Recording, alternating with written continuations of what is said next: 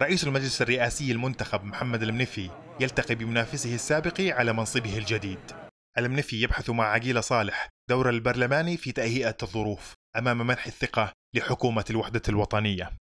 ينتهي اللقاء ليخرج عقيلة أمام أعيان وحكماء ليقول إن مبادرته للسلام قد نجحت ويؤكد إبلاغه رئيس المجلس الرئاسي ورئيس حكومة الوحدة بالتمسك بالمشاركة في السلطة التنفيذية. والعدالة في توزيع إيرادات النفط والسلك الدبلوماسي.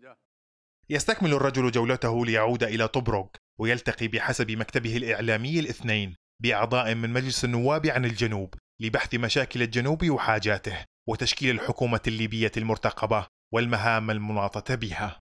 قبل ذلك وعند وصوله إلى بنغازي يلتقي المنفي بحفتر ويثير معه سيلا من الجدل والتساؤلات عن دلالات الاختيار الأول للزيارة. التي قال إنها من أجل وحدة الوطن وسلامة أراضيه والغاية بحسب تعبيره. رفع المعاناة عن المواطن.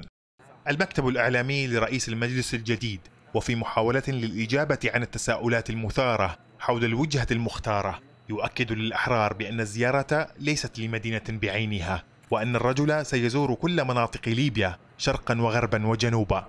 ليتجه بعد ذلك إلى جامعة بنغازي حيث الهيئة التدريسية والأكاديمية. التي قال إنها تلعب دورا في مواجهة تحديات الملفات السياسية والاقتصادية من بنغازي إلى طبرق حيث أعينوا المكونات الاجتماعية الذين طلبهم بالاستمرار في المحافظة على النسيج الاجتماعي يستكمل رئيس المجلس الرئاسي الجديد الجولة بلقاء أعضاء من مجلس النواب لمناقشة التئام المجلس وجلساته المرتقبة ووضع الترتيبات اللازمة لمنح الثقة للحكومة الجديدة.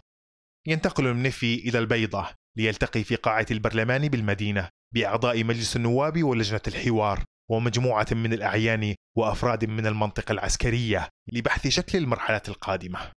زيارة المنفي إلى الشرق الليبي لا زالت قائمة في وقت يعلن فيه رئيس الحكومة الجديد في بدء العمل على تشكيل الحكومة التي تنتهي مهلة تشكيلها والمصادقة عليها من البرلمان خلال أقل من أسبوعين ما يطرح تساؤلات عن الخطوة والوجهة القادمة لرأس السلطة الجديدة.